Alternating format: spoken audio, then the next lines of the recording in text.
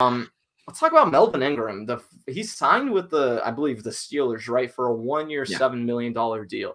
49ers could have fit this type of deal underneath their cap. They could have made the situation work. Why didn't they sign Melvin Ingram in your opinion? Ben, I wanted him to. I can't even front. I did. I, Melvin Ingram's a talented player. The guy had zero sacks last year, but if we're and he only played seven games, so no sacks in seven games.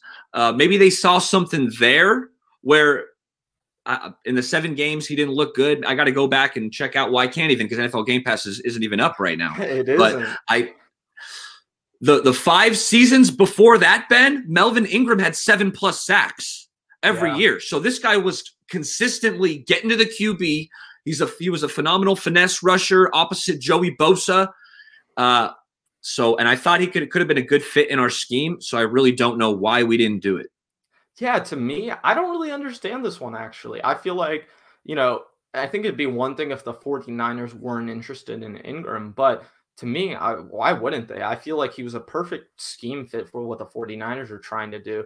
He could be that opposite edge rusher of, you know, for Bosa. And then guess what? If Nick Bosa does miss any time, if there's any sort of faltering along the way, guess what? You have a premium pass rusher you can go in and play right away. You don't have to worry about picking up another guy. I think part of this to me goes back to the idea that the 49ers already made a lot of offseason moves with the defensive line. So maybe they weren't necessarily looking to add another piece at that position. You know, the, the 49ers do only have so much cap room left. Maybe they're waiting out and, and, trying to see if there's a better fit available or, or something else like maybe that. they know Arden Key is about to ball out. You know, that's that been my be sleeper. So maybe they're that expecting Arden Key to take that jump.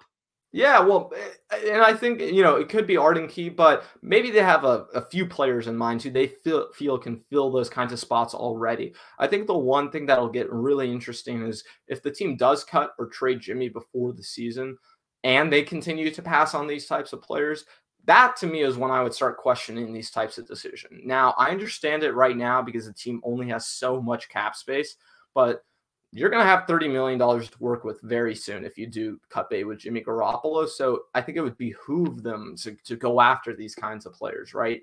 It, I, I wouldn't, I, I've talked about the cap rollover before, but if we're going after these one year rental type guys at these specific positions where the 49ers really could use some help, I'm not necessarily against that. I, I, I just I wonder if the 49ers are waiting for the right player to become available. You know, maybe they understand the position they're in right now. They know they could get a player in the future, a free agent, a trade piece, something like that. You know, maybe they have an idea of what they're going to do down the line. Um, but to me, I, I, did question this move a lot. Um, and